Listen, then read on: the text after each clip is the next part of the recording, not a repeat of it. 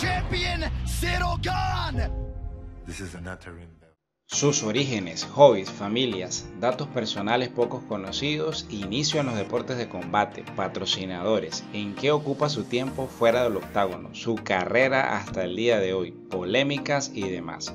Soy José Pacheco y bienvenidos a Fans Combat UFC. Esto es la biografía de Cyril Game. Nuestro protagonista nació el 12 de abril de 1990 en una pequeña comunidad en Pays de la Roche, La Roche-sur-Yon, en el corazón de Vendy, Francia. Como muchos de los habitantes de La Roche-sur-Yon, los padres de Cyril son de Guadalupe, un archipiélago en las Antillas en el Mar Caribe, que forma una región de ultramar de Francia y una región ultraperiférica de la Unión Europea. Se sabe poco de su familia. Proviene de una familia humilde en donde su padre, Romain Gain, era chofer de autobús y en su juventud fue futbolista amateur. Su madre es una ama de casa. Es el segundo de dos hermanos. Su hermano mayor se llama David. Cyril Gain tiene un apodo desde su infancia del cual se siente muy orgulloso, Bon Gamin, lo que se traduce del francés como buen niño. Aquí en Colombia, Gamin es otra cosa. Este apodo nos da una idea del tipo de niño que fue Cyril. A diferencia de muchos deportistas de MMA, su amor por los deportes de combate no nació en su infancia. Aunque siempre fue un atleta destacado, los primeros deportes que practicó fueron el fútbol y el baloncesto mientras asistía a una escuela pública. Durante su adolescencia realizó algunos trabajos para contribuir con la economía familiar. Uno de ellos fue como vendedor en una tienda de muebles.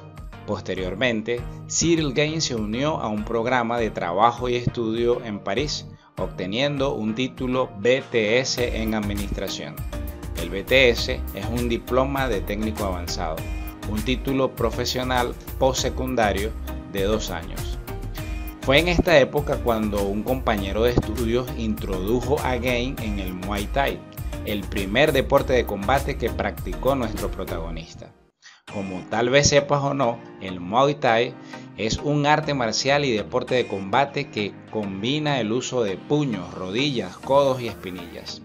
Gain demostró pasión y habilidad por el Muay Thai desde el principio y su ascenso fue meteórico.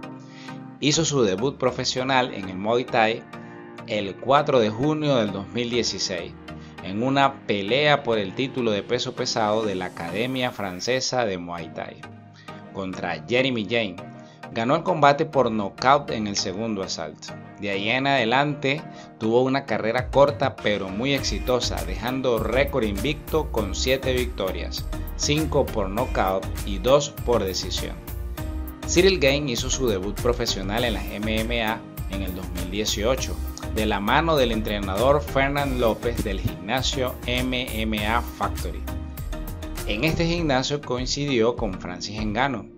Como es sabido públicamente, Francis rompió relación con el gimnasio y su entrenador, Fernand López, quedando en muy malos términos. Volviendo a Cyril, Primero fue contratado por la promoción canadiense MMA TKO, donde su primera pelea fue por el campeonato vacante de peso pesado contra Bobby Sullivan. Ganó la pelea en la primera ronda a través de un estrangulamiento frontal. Seguidamente hizo dos defensas, ambas las ganó por TKO. Estas actuaciones no pasaron desapercibidas por los cazatalentos de la UFC. Adicionalmente, la categoría de los pesados estaba necesitada de un aire fresco, por lo que no dudaron en firmar al francés. El talentoso atleta hizo su debut en la UFC en el 2019, aportando un estilo único y vistoso para un peso pesado, por su velocidad, movilidad y explosividad. Kane hizo su primer combate el 10 de agosto del 2019 en el UFC Fight Night Chechenko versus Karmosh 2 contra Rafael Pessoa, ganando por un estrangulamiento de triángulo de brazo, casi finalizando el primer round. Gain tuvo dos victorias más ese mismo año, el 26 de octubre ante Don Tail y el 21 de diciembre ante Tanner Bowser. cerrando un inmejorable 2019 y perfilándose como una de las fuerzas emergentes más importantes de la división.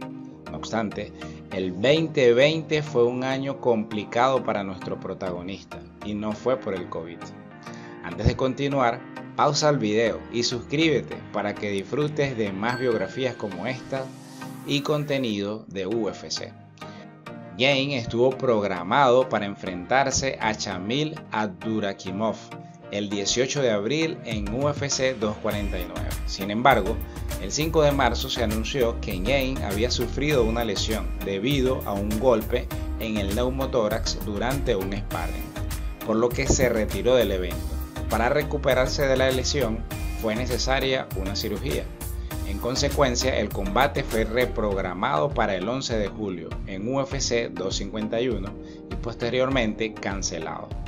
Luego de otros combates reprogramados y cancelados por diversos motivos, nuestro protagonista finalmente enfrentó a Junior Dos Santos el 12 de diciembre del 2020 en UFC 256. Ganó el combate por un nocaut técnico en el segundo asalto esta victoria colocó a Gain en la primera plana de la división. Si bien Dos Santos venía de una racha negativa con tres derrotas al hilo, era todavía un nombre respetado en la promoción. Y Cyril le dio una masterclass de striking con movimientos laterales, golpeando y pateando desde diferentes ángulos, atacando y contragolpeando. No obstante, esta victoria trajo consigo algo de polémica, Después de la victoria por nocaut en el segundo asalto de Cyril Gaines sobre el ex campeón Junior Dos Santos, este protestó por el resultado y afirmó que el golpe final cayó en la parte posterior de la cabeza, lo que se conoce como un golpe de conejo, el cual es ilegal. Algunos medios se sumaron a la idea, pero esta no prosperó y Gaines se quedó con su victoria. ¿Qué opinan ustedes? ¿Fue o no un golpe de conejo? En su siguiente combate obtuvo una victoria por decisión unánime frente a Jairzinho Rosenstruck el 27 de febrero del 2021. A pesar de ganar, con este combate nació una pequeña corriente que lo tildaba de peleador aburrido. El mismo Dana White dijo que había sido un combate aburrido. La siguiente victoria le dio un impulso a su carrera, Cyril le ganó por decisión unánime a Alexander Volkov el 26 de junio del 2021. Esta victoria le abrió las puertas para pelear por un polémico título interino ante el número 2 del ranking, Derrick Lewis. Polémico porque el campeón Francis Engano no tenía impedimentos para defender su título. Luego se supo que se debió a desacuerdos de dinero entre la UFC y el campeón Qué raro esto en la UFC. Polémico también porque pasaron por encima del número uno del ranking, Stipe Miocic. ¿A quién no le habría gustado ver este combate? Stipe versus Cyril. A mí me habría encantado. ¿Y a ti? ¿Te hubiera gustado ver este combate? Pero para nuestro protagonista era igualmente una excelente oportunidad de asegurarse una pelea con el campeón por el título indiscutido, que era su objetivo desde el ingreso a la promoción. Así llegó el 7 de agosto del 2021 y en UFC 265 Gaines se enfrentó a Derek Lewis por el campeonato interino del peso pesado de la UFC. Gaines dominó a Lewis con suma facilidad durante toda la pelea y finalmente ganó por TKO en el tercer asalto.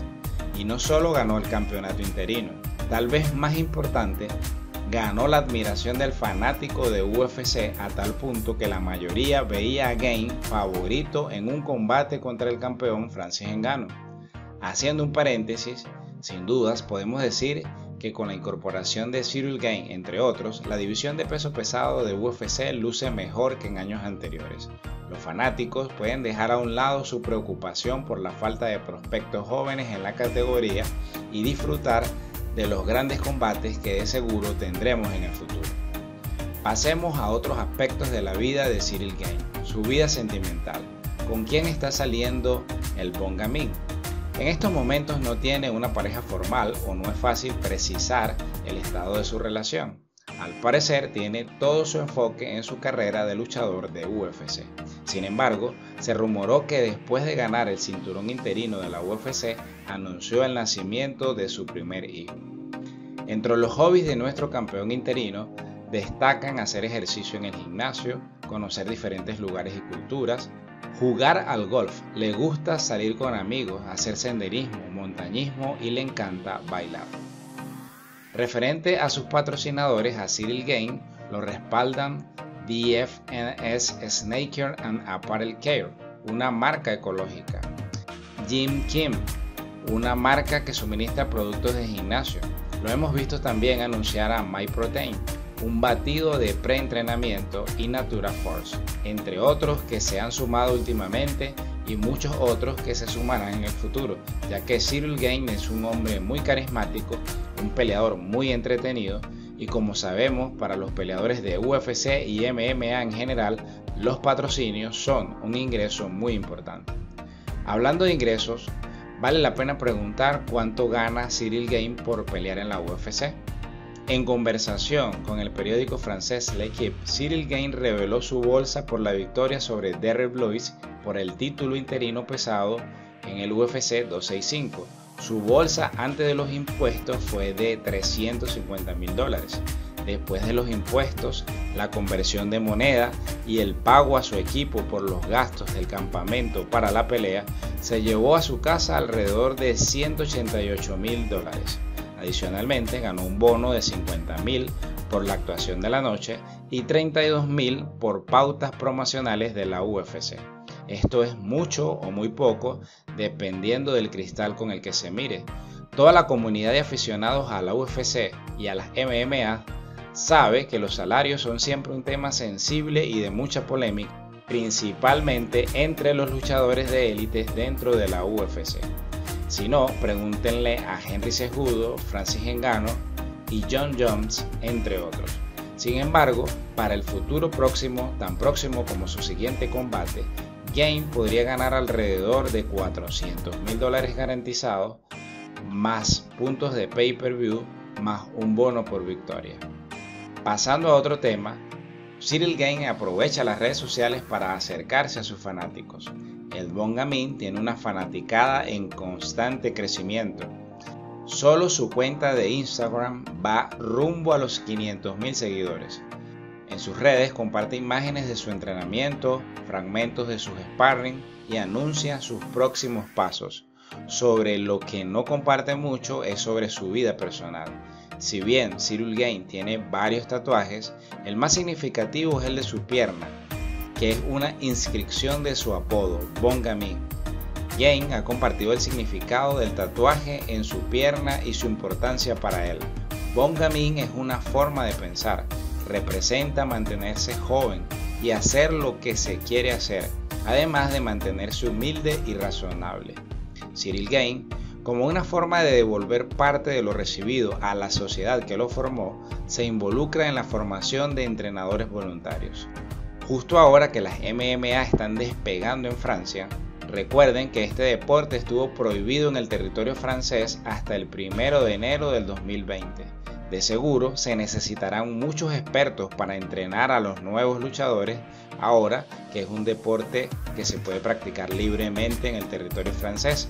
Esta labor la hace de la mano de su entrenador, amigo y mentor, Fernand López, y a través del Fight Management College del cual Fernán López es fundador y presidente. Espero que esta biografía haya sido de tu agrado y provecho. Suscríbete y nos vemos en la próxima.